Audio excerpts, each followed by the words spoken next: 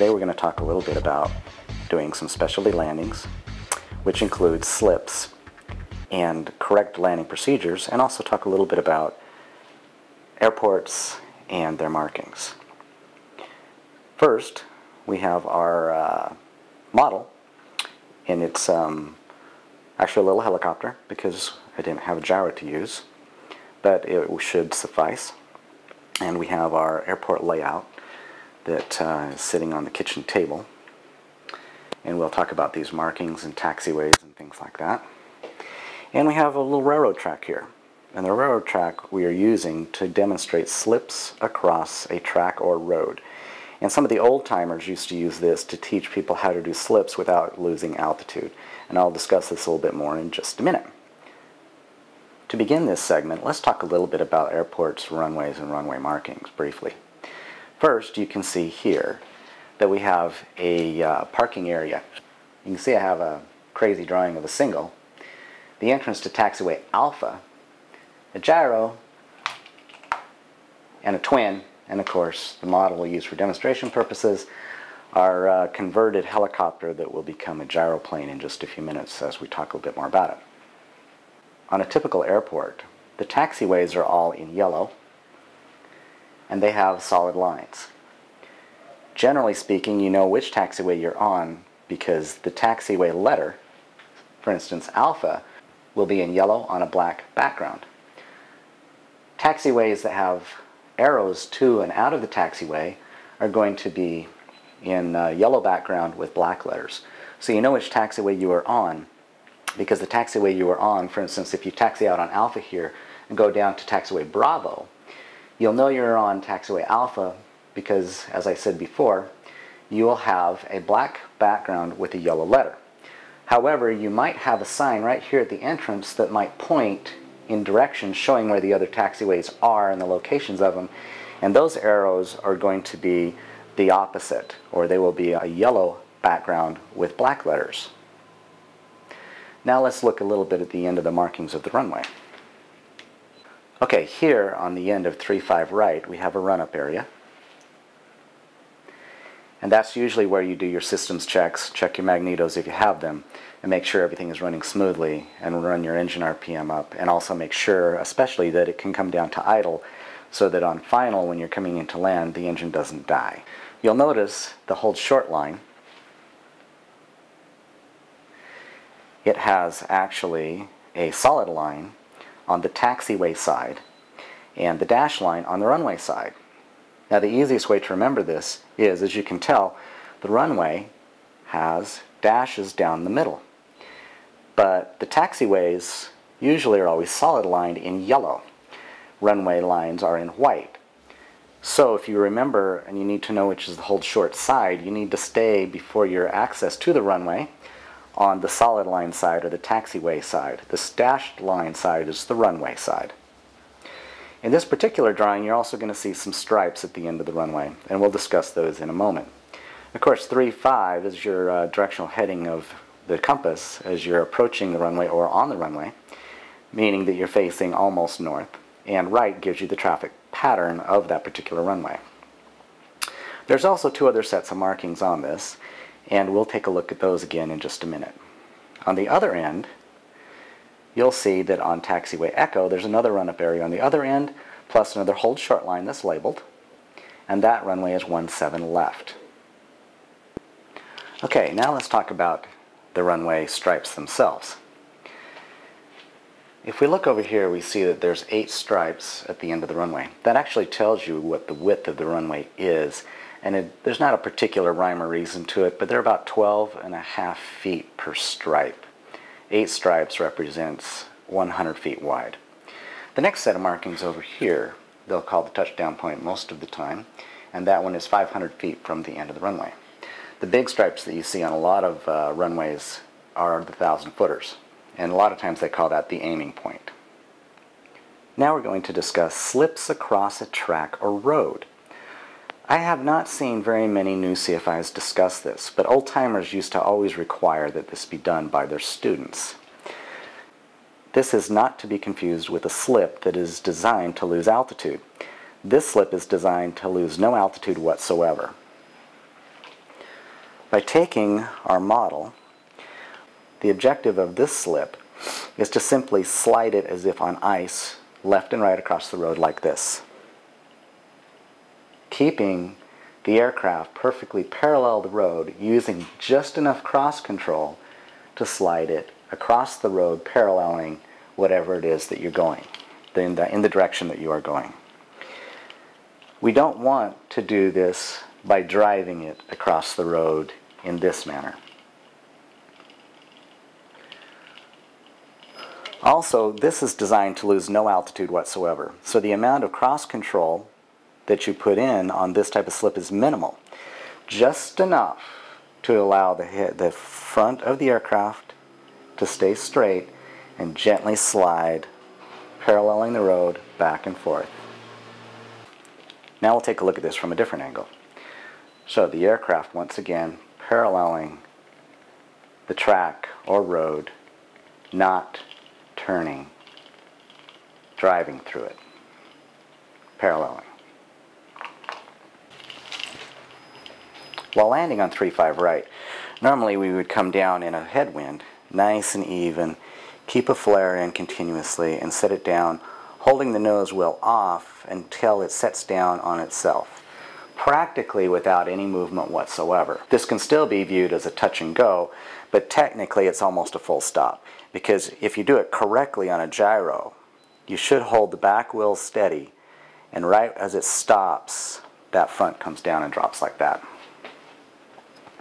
The reason why you want to have a good practice of doing that is because many gyros have a non-castering nose wheel.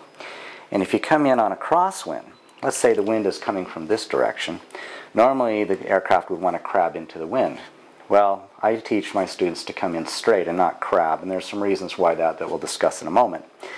But on approach, if they come in straight and they have the rotor tilted into the wind, and they have a slight cross control to keep the nose parallel the runway, the nose wheel may not be perfectly straight on touchdown, so I have them come in, complete the flare with a lot of follow through, nose up, and let the nose come down, and as it comes down, center the rudder so the nose wheel comes down straight and not cocked.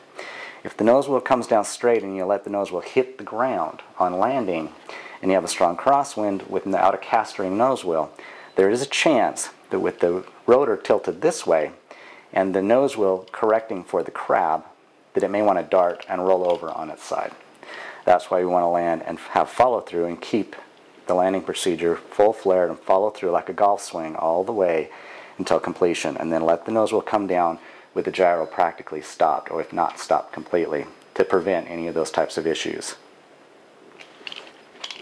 Now many of you know I fly an Autogyro MTO Sport. The MTO doesn't have a tail wheel.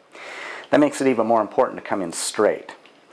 On a tail wheel gyro, like this little helicopter model, let's say it had a tail wheel, if we're cocked, the tail wheel touches first, the center of motion straightens out the gyro, then it can come down and it can land.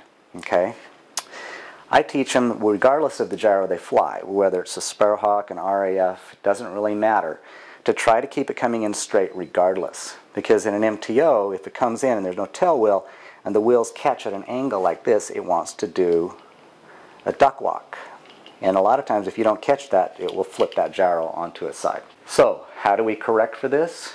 Well, this is why I teach people doing slips across the road.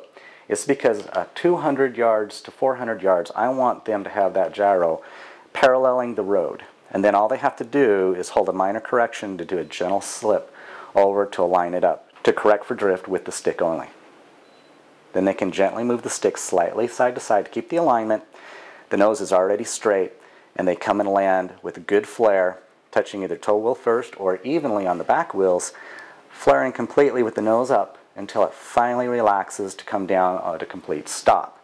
Then, if they roll a little bit forward and want to do a touch and go, they're already rolling in a straight pattern and can go ahead and take off correctly. By practicing those slips across the road at a high altitude, not losing any altitude with minor, minor cross control, remember it only takes about 3% cross control to do that, they're able to easily keep that aligned with the runway and have a very good quality type of pattern when they're landing and they form a good habit. One of the problems that you also have if you come in crabbed a lot and then you get too slow right on touchdown and you want to kick it straight. You don't have enough air sometimes going over the rear controlling surfaces of the gyro to make it effective enough to correct that crab right on touchdown. And therefore you can land crooked and have another issue without adding power. So what about strong crosswinds? Well, on a strong crosswind, you're going to come in and you're going to go ahead and correct, just like I said, for that with a slip. This slip is just enough to keep it straight and centered. And sometimes you may have to keep a little bit of RPM in to keep air flowing over the controlling surfaces and let it come down when it is ready. Don't force it to get on the ground. And as the rear touches down, immediately cut your throttle, pull back on the on the rotor full just like you would normally do follow through and let that come down on the nose wheel. If it is directly across the runway, very strong, say over 15 knots, you've got some nice taxiways here. And what I've done in the past when I've needed to, in these particular cases where I've had to do this, I've actually called that I was going to land on 3-5 long and I've landed sideways and dropped it exactly right on the runway. Done a 180 and exited. That way I cleared everything, made sure that they knew what I was doing, and I landed into the wind directly and set down right on the runway. Remember, it's a matter of safety when it comes to landing on the runway, and if you need to get down and make it safe, and you have to, the length of this taxiway is usually about three or four hundred feet, and that's normally plenty of length to land a gyro if necessary, if it's clear. One more thing about crosswinds. Something I noticed last May. I was landing in heavy crosswinds with a student simulating engine outs. Now, the crosswind wasn't a direct cross like this.